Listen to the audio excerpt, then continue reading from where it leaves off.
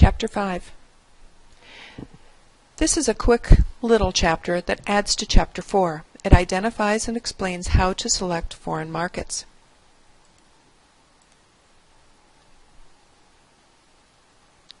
Why rank markets? There are for-pay organizations or businesses that will do this for you, and often this pays for itself in having talented, informed people focusing on this, taking less time and money than if you did your own in-house research.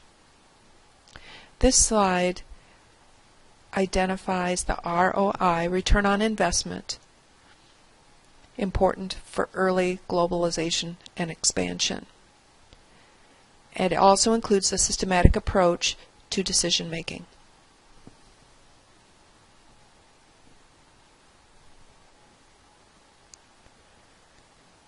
We'll take a look at in a little more detail.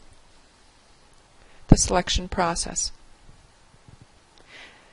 Number one, developing indicators, also known as selection criteria. Product specific. These indicators include the level of current imports and exports.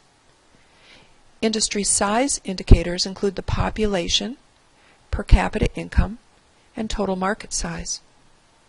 Market growth indicators include growth projections of total market. Number two, it's important to convert data for comparison.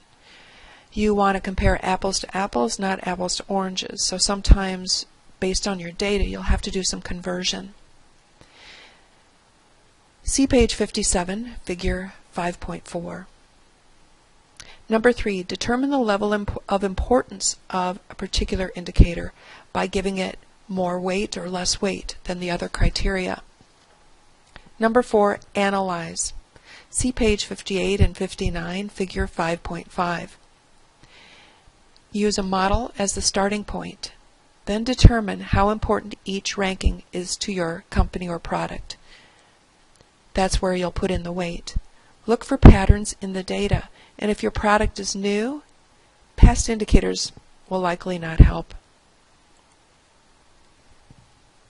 Country versus market analysis. There are items to consider when analyzing with both the country and the market. This slide lists the items to consider.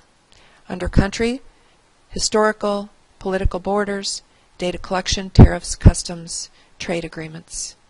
Under the market, we have trade alliances, monetary unions, and metro areas or economic zones. Now, NAFTA you may have heard of. That is an agreement between the United States, Canada, and Mexico.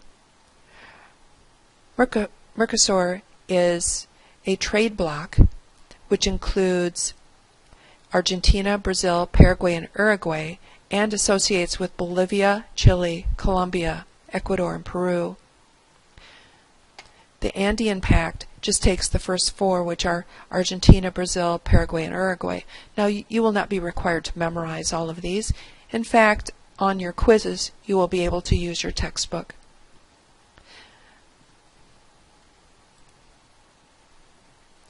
The last slide of this PowerPoint talks about Kenichi Ohmae's model, the four I's, as you can see, investment, industry, information, and individual customers. Ohmae is best known for his ideas on market segmentation.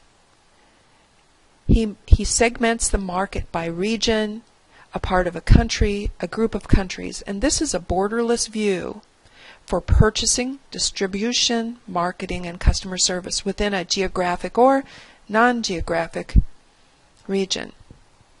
This link that I'm going to open goes to a 13-minute video of Kenichi Ohmae.